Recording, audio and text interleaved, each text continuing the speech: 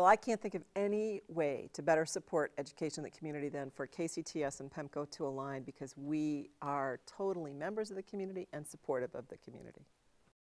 PEMCO Insurance, a Northwest company, is proud to be a longtime supporter of the KCTS Golden Apple Awards that honor Washington's best teachers and programs, some of which are a lot like us, a little different.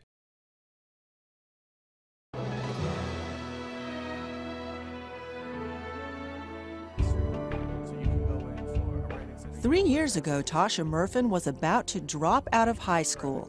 My dad was going through surgery, and you know, financially it was hard, and I mean, it was just kind of like a wreck. Tasha did what lots of students do at North Central High School in Spokane. She took her problems to the principal. He actually, after school, walked around every class with me, teacher to teacher. Once she was caught up, Principal Stephen Gering pushed Tasha to take AP and honors classes and to apply for college. He kept bugging her in the halls.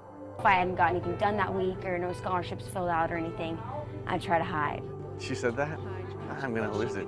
Every time I'd see her in the hall, I would, uh, felt like I wasn't doing enough.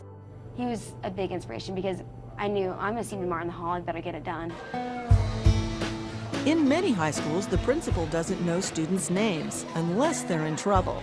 At North Central, Gary knows the students and expects them to step up their academic game. When Stephen came, we had all these little courses that we, we used to call them dumping grounds. Now the easy classes are gone, and the hard classes are for everyone.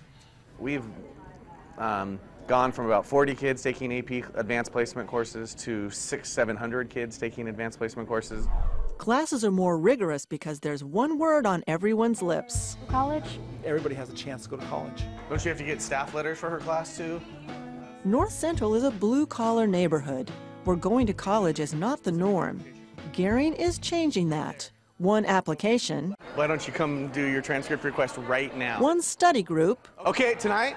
One counselor, pursue them even a little harder, one teacher at a time. How many? For the 20 plus years he's been at this school, Randy James has wanted to teach a biotech class with kids doing real life research. The district said no. Gering said, We're going to do it. And we started our freshman, we registered kids for the freshman biomedical class without permission because he said it was good for kids. Today in Randy James' fully sanctioned class, you'll find students doing unique research, like extracting DNA from really old bison bones. High-level projects like these are a great addition to a college application. That's what Tasha Murfin discovered. Today, she's not a high school dropout. She's a college student. And she says she owes it all to a principal who knows your name. I don't see my life today if I didn't have met, wouldn't have met Mr. Gering. Now I can see my future.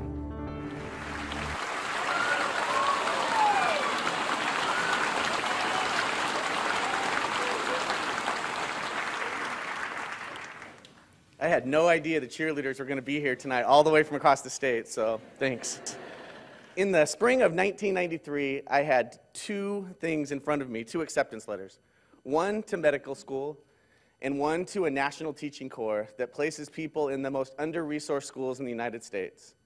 Almost 20 years later, I have the incredible fortune to be part of a staff that's committed to every single kid going to college, that every kid can take the most rigorous classes, and that every kid can achieve their dreams.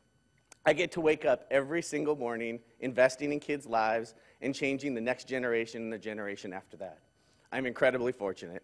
Looking back on that decision 20 years ago, I know I made the right choice. Thank you so much to um, PEMCO and KCTS for recognizing educators. As much as doctors do for our, our community, it's really, truly educators who um, are the most important people in our society. Thank you so much.